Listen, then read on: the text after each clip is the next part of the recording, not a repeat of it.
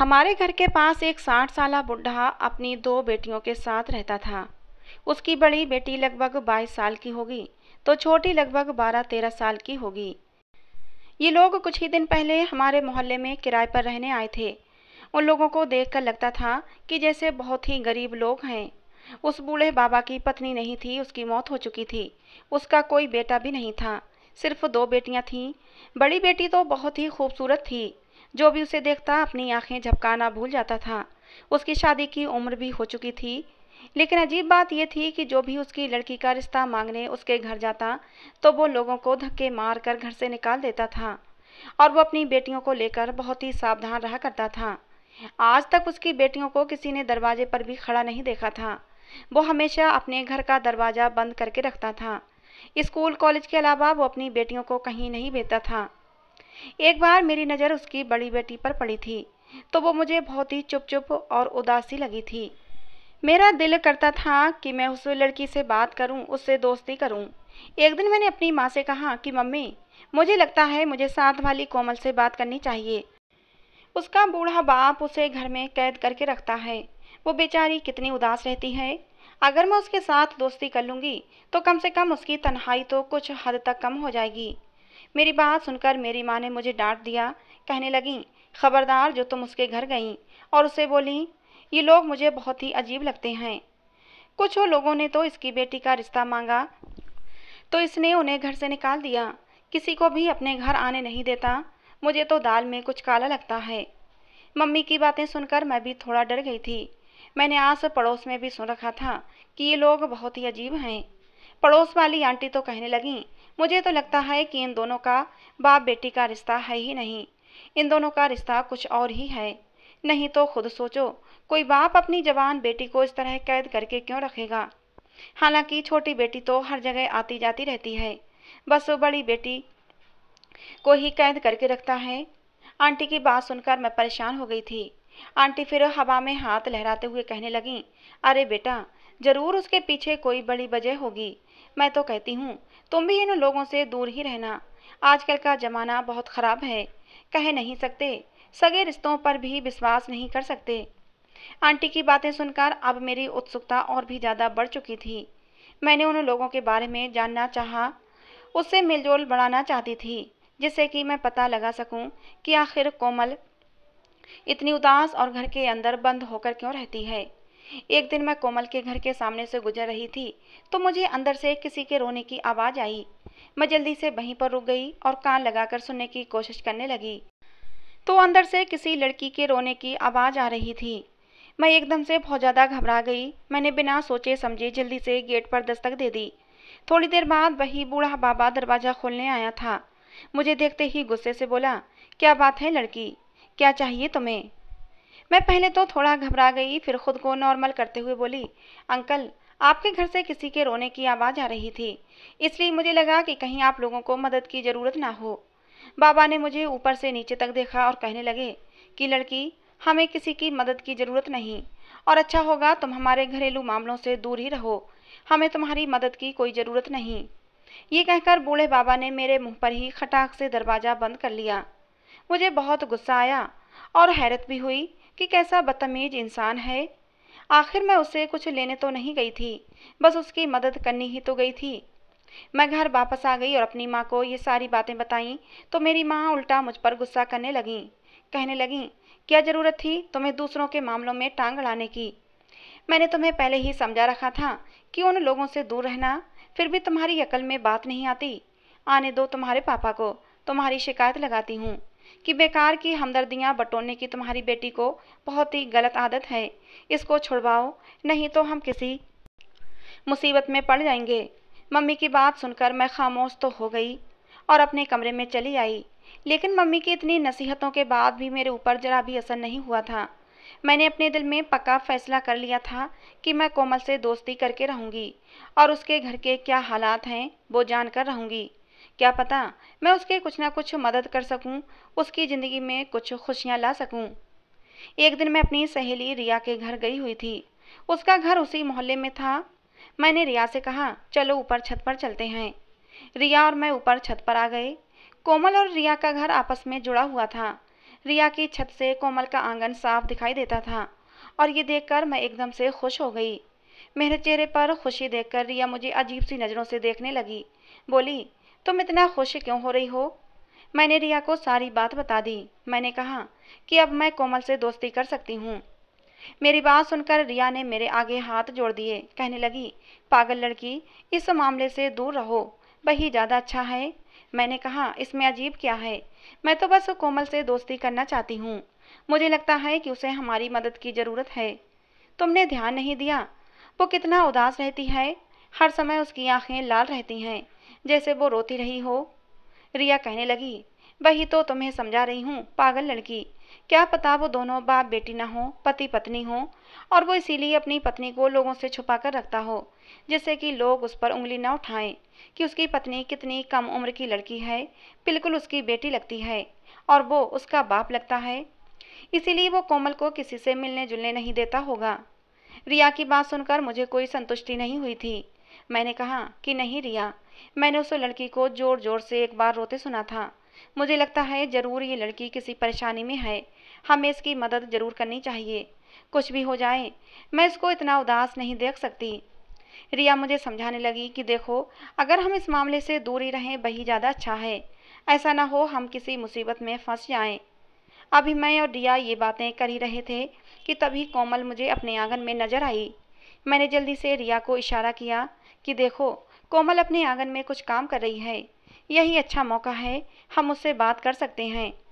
रिया पहले तो मुझे समझाने लगी, लेकिन जब मैं नहीं मानी तो रिया गुस्से से पैर पटकते हुए, ये कहकर चली गई कि तुम ही उससे बात करो, मुझे उस सन की बुढ़े से अपनी बेइज्जती नहीं करवानी है।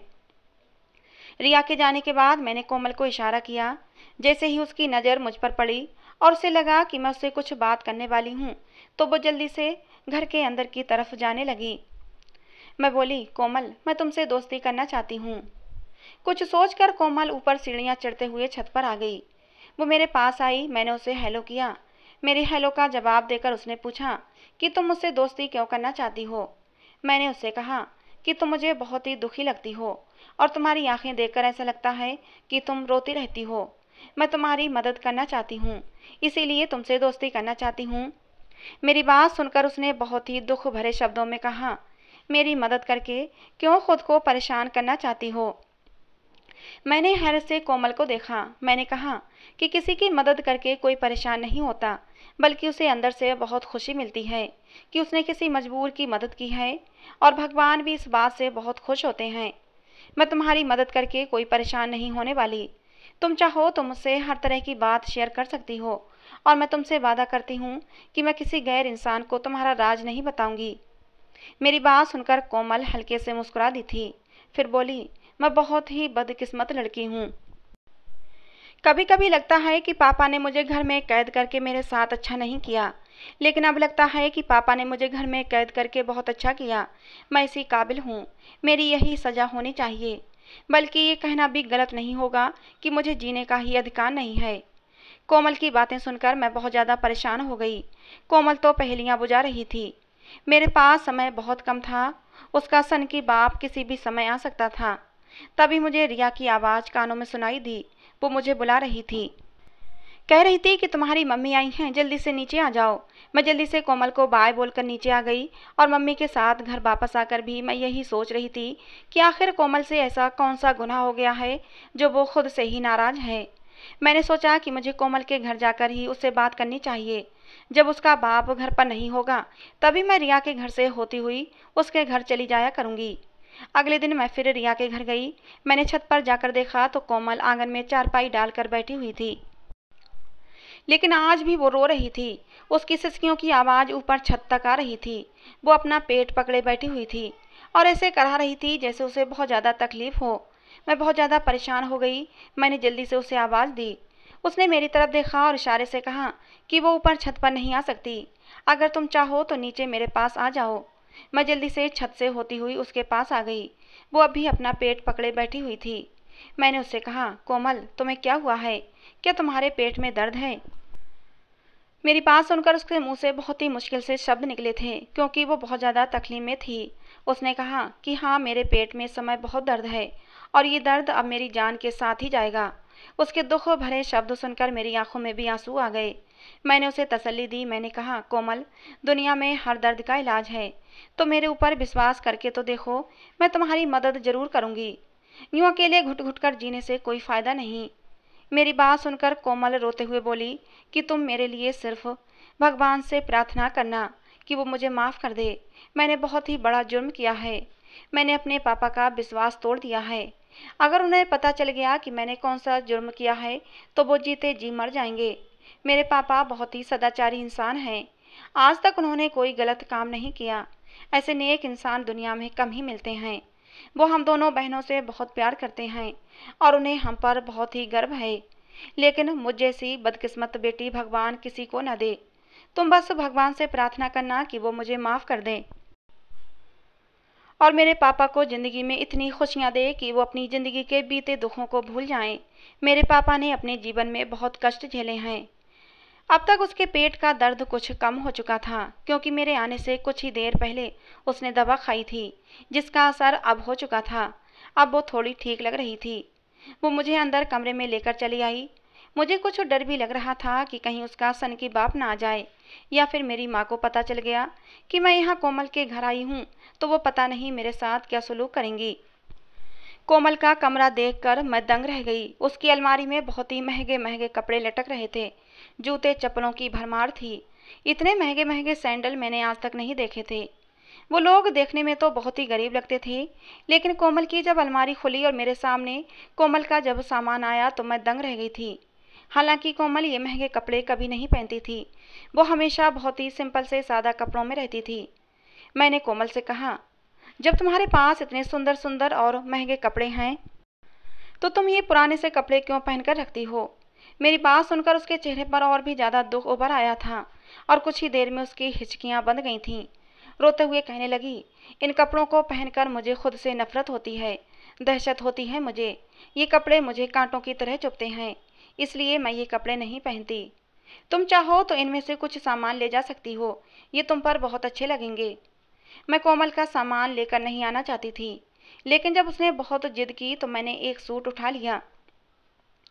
फिर कोमल बोली, तुम इसे ज़रूर पहनना, तुम पर बहुत अच्छा लगेगा। और जब मैं मर जाऊँ तो मुझे आखिरी बार देखने ज़रूर आना। कोमल की बातें सुनकर मेरा दिल दहल गया। मैंने उसके होंठों पर उंगली रख दी और कहा, चुप करो कोमल, ऐसी उदासी भरी बातें मत करो। अभी तुम्हारी उम्र ही कितनी है, और तुम अभी से ऐसी बातें लेकर बैठ गई हो। तुम्हें कोई समस्या है तो मुझे बताओ, मैं तुम्हारी समस्या को दूर करने की कोशिश करूँगी। ज़िंदगी में कभी हार नहीं माननी चाहिए, भगवान सारा समय एक जैसा नहीं रखता। अगर भगवान ने दुख दिया है तो वो सुख भी ज़रूर देगा, बस भगवान पर भरोसा रखना चाहिए। मेरी बात सुनकर कोमल खामोशी से नीचे फर्श को घूरती रही। उसने मेरी बात का कोई जवाब नहीं दिया था। फिर थोड़ी देर बाद उठी और अलमारी के पीछे लगे एक छोटे से ड्रॉल को खोला। उसमें से एक काले रंग की डायरी निकाली और बड़े से इनबलम में डालकर उसने मुझे वो डायरी थमा दी और बोली, जब मैं इस दुनिया में ना रहूँ तो ये डायरी तुम मेरे पापा को दे देना। मुझे कोमल की बातें बहुत ही ज़्यादा हैरानी में डाल रही थीं। लेकिन मेरे पास समय बहुत कम था। मैं उससे और ज़्यादा बातें नहीं कर सकती थी। तभी बाहरी दरवाजे पर खटखट की आवाज़ हुई। मैंने जल्दी से सामान उठाया और ऊपर छत से होती हुई रिया की छत पर आ गई। मैं बहुत ही उत्सुकता से उस डायरी को देख रही थी। पता नहीं उस डायरी में ऐसा क्या था, जो कोमल ऐसी बातें कर रही थी। भला कोमल के न रहने पर ही ये डायरी उसके पापा को क्यों मिलनी चाहिए? मुझे कुछ भी समझ नहीं आ रहा था, लेकिन मुझे कुछ अजीब भी लग रहा था। मुझे कोमल को लेकर डर महसूस हो रहा था, कहीं कोमल की जान को खतरा तो नहीं। मैं घर आई तो मेरी माँ ने मेरे हाथों में इतना महँगा सूट देखा तो हैरानी से पूछा, नेहा, इतना महँगा सूट कहाँ से ले आई? तुम तो घर से पैसे लेकर भी नहीं गई थी, जो बाहर से खरीद कर ले आई। मैं अपनी माँ से कुछ भी छुपा नहीं सकती थी। वैसे भी आज तक मैंने अपनी माँ से कुछ नहीं छुपाया था, इसलिए मैंने अपनी माँ को सारी बातें बता दी। बस वो डायरी वाली बात छुपा ली। मेरी बात सुनकर मेरी माँ ने अपना सिर पीट लिया था। और गुस्से से बोली, नेहा, मैंने तुम्हें कितनी बार समझाया कि तुम उस लड़की से दूर रहो, लेकिन तुम्हारी समझ में नहीं आता। और आज तो तुम उसके घर तक पहुँच गई और उसने तुम्हें गिफ्ट भी दे दिया। और उस लड़की की बातें कितनी अजीब हैं। भगवान न करे उसे कल को कुछ हो गया तो तुम क्या करोगी? अगर तुम उसके किसी मामले में फंस गई तो हम तो कहीं के ना रहेंगे। वो लड़की कितनी उदासीनता भरी बातें करती है। उसे अपनी ज़िंदगी से कोई मोह नहीं है। उस लड़की की बातें सुनकर मेरा दिल घबरा रहा है। खबरदार, कल से तुम उसके घर गई तो?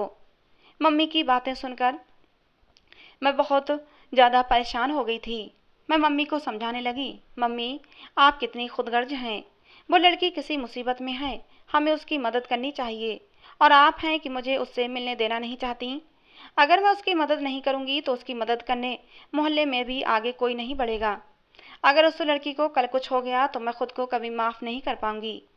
लेकिन मेरी माँ ने मुझ पर बहुत ही सख्ती से पाबंदी लगा दी और मुझे उसके घर जाने से मना कर दिया। अब मैं बहुत पछताई कि मुझे अपनी माँ को ये सारी बातें नहीं बतानी चाहिए थीं। कम से कम मैं कोमल से मिल तो सकती थी और ये जान सकती थी कि कोमल को क्या परेशानी है। ऐसे ही दो दिन गुजर गए थे और फिर मुझे वो खबर मिल ही गई जिसकी मुझे आशंका थी। कोमल के पेट में बहुत तेज दर्द उठा था और इसी तेज दर्द के चलते उसकी मौत हो गई थी। लेकिन ये बात सिर्फ़ मैं जानती थी कि कोमल की मौत का जिम्मेदार उसके पेट का दर्द था। मोहल्ले वाले अजीब अजीब बातें बना रहे थे कि भला जवान लड़की इस तरह अचानक बिना किसी वजह के कैसे मर सकती है। ज़रूर उसकी मौत के पीछे उसका बूढ़ा बाप जिम्मेदार है, लेकिन मैंने अपने होंठ सी लिए थे। मैंने किसी को कोमल के बारे में कुछ नहीं बताया था। लेकिन कोमल के जाने का मुझे बहुत दुख था। कितनी सुंदर, कितनी प्यारी लड़की थी। लेकिन पता नहीं उसे ऐसा कौन सा रोग लग गया जिसने उसकी जान लेकर ही छोड़ा। कोमल की छोटी बहन और उसके बूढ़े पापा का रो रो कर बुरा हाल था। सब लोग कोमल के बाप को उसकी मौत का जिम्मेदार ठहरा रहे थे। लेकिन मेरा दिल कह रहा था कि कोमल का बाप बेकसूर है। क्योंकि कोमल ने मुझे बताया था कि उसके पापा बहुत ही अच्छे इंसान हैं। अगर कोमल के पापा उसे परेशान करते होते तो वो मुझे अपने पापा के बारे में कुछ ना कुछ ज़रूर बताती। लेकिन मोहल्ले वाले यही समझते थे कि ज़रूर दाल में कुछ काला है। कोमल की मौत के पीछे यही बुढ़ा जिम्मेदार है। यही सब सोचते हुए सारे मोहल्ले वाले उस बूढ़े बाबा के घर इकट्ठे हो गए और उससे पूछताछ करने लगे, मेरे पापा भी गए थे। मेरे पापा ने पूछा, तुम्हारी बेटी जवान थी, शादी के लायक थी, फिर तुमने उसकी शादी क्यों नहीं की? चारों तरफ़ से बूढ़े बाबा पर सवालों की बौछारें हो रही थीं, लेकिन वो बेचारा जारो कतार रो रहा था कि मुझे नहीं पता मेरी बेटी को क्या हुआ था। उसने मुझे कुछ नहीं बताया था। शादी के लिए वो खुद ही मना करती थी, इसलिए मैंने उसकी शादी नहीं की थी। जब इतने अच्छे अच्छे रिश्ते मेरी बेटी के लिए आते थे और वो उन्हें मना कर देती थी तो मैं अपनी बेटी का सारा गुस्सा रिश्ता लाने वालों पर निकाल देता था। क्योंकि मैं अपनी बेटी से कुछ नहीं कह सकता था, क्योंकि मैं उससे बहुत प्यार करता था। जब कोमल के पापा बार बार कहने लगे कि अपनी बेटी की मौत का जिम्मेदार मैं नहीं हूँ तो सब मोहल्ले वालों ने तय किया कि पुलिस को खबर देनी चाहिए। और फिर पुलिस को खबर की गई। कोमल के पापा ने सब मोहल्ले वालों के हाथ जोड़े कि मेरी बेटी की मौत नेचुरल थी। उसकी मौत के पीछे किसी का हाथ नहीं था। पुलिस आएगी तो मेरी बेटी का पोस्टमार्टम होगा, पर मैं ये बिल्कुल नहीं चाहता। अगर आप लोग कहें तो मैं खुद पुलिस के पास जाने को तैयार हूँ और आप जैसा कहेंगे, मैं पुलिस में जाकर कह दूँगा। लेकिन मेरी बेटी, को थाने कचहरी के चक्कर में मत घसीटो। अब तो वो इस दुनिया में भी नहीं है। उसे चैन की मौत तो मर जाने दो। लेकिन मोहल्ले वालों ने कोमल के पापा को समझाया कि जब तक आपकी बेटी का पोस्टमार्टम नहीं होगा, लोगों को पता कैसे चलेगा कि उसकी मौत कैसे हुई। हो सकता है आप अपनी बेटी की मौत के जिम्मेदार ना हो, लेकिन यह भी तो हो सकता है कि उसकी मौत का जिम्मेदार कोई और हो। अगर पोस्टमार्टम रिपोर्ट आएगी तो पता चल जाएगा कि कोमल की मौत कैसे हुई थी, जिससे कि आपकी बेटी को इंसाफ मिल सकेगा। लेकिन कोमल के पापा बार बार मना करते रहे। बार बार मना करने पर मोहल्ले वालों को और भी ज़्यादा शक हो गया था कि हो ना हो कोमल की मौत का जिम्मेदार खुद उसका बाप है। खैर, कोमल की लाश को पोस्टमार्टम के लिए भेजा गया और फिर उसके बाद पता नहीं क्या हुआ। भगवान ही जाने। लेकिन पोस्टमार्टम के बाद कोमल के पिता बहुत ही शांत थे। अब उनके आँसू थम चुके थे। पुलिस वालों ने कोमल के पिता को बेकसूर ठहराकर उसे छोड़ दिया था। कोमल के पिता ने बहुत ही शांति में अपनी बेटी का अंतिम संस्कार किया। मोहल्ले वाले हैरान थे कि आखिर पोस्टमार्टम की रिपोर्ट में ऐसा क्या आया, जो कोमल के पिता इतने शांत थे और अब वो अपनी बेटी का मातम भी नहीं मना रहे थे। पुलिस वालों ने भी उसे निर्दोष साबित कर दिया था, लेकिन मैं बहुत बेचैन थी।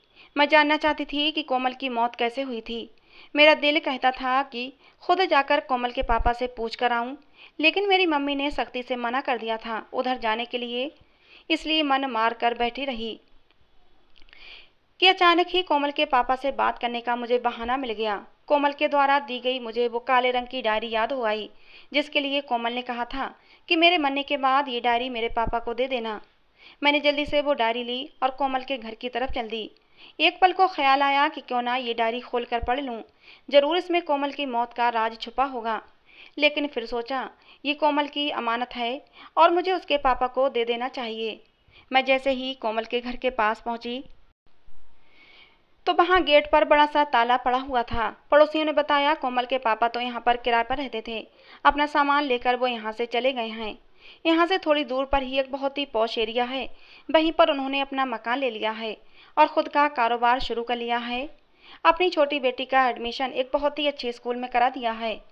मुझे सुनकर हैरत का झटका लगा था। जो लोग कल तक इतने गरीब थे कि उन्होंने इस गरीब मोहल्ले में किराए पर मकान लिया आज वो बेटी के मरने के बाद इतने अमीर कैसे हो गए? मैं अपने कमरे में बैठी यही सोच रही थी कि डायरी खोलकर पढ़ लूँ या ना पढ़ूँ। वो काले रंग की डायरी मेरे सामने पड़ी हुई थी और फिर मैंने फैसला कर ही लिया कि मुझे ये डायरी खोलकर पढ़ लेना चाहिए।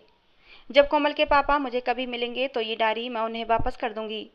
और फिर जैसे ही मैंने डायरी पढ़ना शुरू की वैसे वैसे मेरे होश उड़ते चले गए थे। डायरी में बहुत ही अजीबो गरीब बातें लिखी हुई थीं। डायरी में लिखा हुआ था पापा, मुझे माफ़ कर देना। मैंने आपके विश्वास को तोड़ा है। जो पाप मुझसे हुआ है, उसके बाद मैं आपके सामने सर उठाने के काबिल भी नहीं रही हूँ। पापा, आपकी परवरिश में कोई कमी नहीं थी। कमी तो मेरे अंदर थी, जो आपकी परवरिश को दागदार बना दिया। माँ के मरने के बाद आपने मुझे माँ और बाप दोनों बनकर पाला था, लेकिन मैं ही रास्ते से भटक गई थी। कॉलेज में मुझे एक लड़के से मोहब्बत हो गई थी, उसका नाम हरीश था। हरीश बहुत ही अमीर था, पूरे कॉलेज की जान था, लड़कियाँ उसके पीछे दीवानी थीं, लेकिन वो मेरे पीछे आया था, और मैं भी उसकी मोहब्बत में गिरफ़्तार हो गई। उसकी बड़ी सी गाड़ी, बड़ा सा बंगला और पैसे की चमक ने मुझे अंधा बना दिया। मुझे लगा कि वो मुझसे सच्ची मोहब्बत करता है। मैं उसके बड़े से बंगले में रानी बन के रहूँगी। लेकिन वो तो मुझे अपने मकसद के लिए इस्तेमाल कर रहा था, मुझसे अपनी हवस शांत करना चाहता था। मैं हरीश को अपना मसीहा समझती थी, लेकिन वो तो मसीहा नहीं, बल्कि इंसान के रूप में छुपा एक भेड़िया था। मुझे अपने बड़े से बंगले में ये कहकर ले गया था कि शादी से पहले अपने घर को देख लो, जिस घर में मैं तुम्हें रानी बनाकर रखूँगा। मैं भी खुशी खुशी उसके पीछे चली गई थी, लेकिन मुझे क्या पता था कि वहाँ वो मुझे अपना बंगला दिखाने नहीं, मुझे वहाँ की रानी बनाने नहीं, बल्कि वो मेरी इज़्ज़त रौंदने के लिए लेकर गया था। जिस समय मैं उसके बंगले पर पहुँची थी, पूरा बंगला सुनसान था। वो भूखे भेड़िए की तरह मुझ पर टूट पड़ा था। मेरी चीखें सुनने वाला वहाँ कोई नहीं था। और जब वो अपने इरादों में कामयाब हो गया तो उसके चेहरे पर ऐसी मुस्कान थी कि जैसे उसने कोई किला फतेह कर लिया हो। शर्ट के बटन लगाते हुए वो बोला था, पूरा कॉलेज तुम्हारी खूबसूरती का दीवाना था। लेकिन मैंने अपने दोस्तों से शर्त लगाई थी कि मैं इस फूल का रस चूस कर रहूँगा। और आज मैंने वो कर दिखाया है। फिर उसके बाद उसने मेरी तरफ़ एक हीरे की चैन फेंकी थी। ये कहकर कि ये तुम्हारी कीमत है। तुम चाहो तो आगे भी मुझे खुश कर सकती हो। मैं ऐसे ही कीमती उपहार तुम्हें भेंट करता रहूँगा। मैंने सुन रखा था कि हीरा चाटने से मौत हो जाती है। मैं अपनी किस्मत पर खून के आँसू रो रही थी। जब मेरे पास मेरी अपनी इज़्ज़त ही नहीं बची थी तो फिर जीने का क्या मतलब था? मैंने वो हीरे की चैन पूरी की पूरी निगल ली। वो मेरे हलक के नीचे से कैसे उतरी मैं नहीं जानती थी। उस समय मुझे कुछ होश नहीं था। थोड़ी देर के बाद हरीश ने मुझे मेरे घर छोड़ दिया था। लेकिन हरीश के बंगले पर बीते वो कुछ पल मेरी ज़िंदगी में बोझ बनकर रह गए थे। मैं उन पलों को भूल नहीं पा रही थी। मेरे पेट में अब दर्द रहने लगा था। लेकिन मैं ये दर्द, ये तकलीफ़ अकेले ही झेलती रही। मैंने अपने पापा को कुछ नहीं बताया। पापा मुझे डॉक्टर के पास भी लेकर जाते, लेकिन मैं डॉक्टर को भी कुछ नहीं बताती थी। मैं धीरे धीरे मौत की तरफ़ जा रही थी, लेकिन पापा के सामने खुद को नॉर्मल रखने की कोशिश करती। पापा चाहते थे कि मेरी बेटी की शादी हो जाए, लेकिन मैं शादी करके अब किसी का घर बर्बाद नहीं करना चाहती थी। मेरे पेट में हीरे की एक चैन है, उस चैन को बेचकर छोटी का एक अच्छे स्कूल में एडमिशन कराना, उसकी सारी इच्छाओं को पूरा करना, उसे ज़िंदगी की सारी खुशियाँ देना। और मेरी ये कहानी मेरी छोटी बहन को ज़रूर सुनाना, जिससे कि मेरी तरह ज़िंदगी में वो कोई गलत फैसला न ले। पापा, जीते जी, मैं ये बात बताकर आपके सामने सर उठाकर कैसे रहती? लेकिन मरने के बाद मैं आपको अपनी हकीकत बता रही हूँ। मेरे प्यारे पापा, मुझे माफ़ कर देना। अब तो आपकी बेटी मर गई है। जीते जी, शायद आप मुझको माफ़ नहीं कर पाते, लेकिन मरने के बाद तो माफ़ कर ही सकते हैं। आपकी प्यारी बेटी कोमल।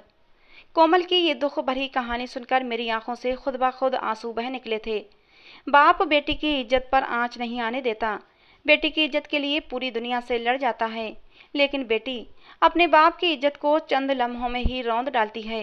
किसी की मीठी बातों में आकर, किसी के बहकावे में आकर वो अपने बाप की इज़्ज़त की परवाह नहीं करती। ऐसी बेटियों से बदकिस्मत बेटी और कौन होगी? जो भी बेटियाँ मेरी ये कहानी सुन रही हैं, इस कहानी से शिक्षा ज़रूर लें। और मुझे कमेंट में ज़रूर बताएँ कि क्या मुझे ये डायरी कोमल के पापा को दे देनी चाहिए। अगर ये डायरी कोमल के पापा पढ़ते हैं तो जीते जी मर जाएँगे। उन्हें अपनी बेटी पर बहुत ही मान था। वो मान कुछ ही पलों में टूट कर चकनाचूर हो जाएगा। कमेंट में ज़रूर बताएँ डायरी कोमल के पापा को देनी चाहिए या नहीं। तो दोस्तों, आज की हमारी ये कहानी आपको कैसी लगी? कमेंट बॉक्स में ज़रूर बताना। पसंद आई हो तो प्लीज़ लाइक किए बिना मत जाना। ऐसी और कहानियों के लिए हमारे चैनल से जुड़े रहें। कहानी को अंत तक सुनने के लिए आप लोगों का बहुत बहुत धन्यवाद दोस्तों।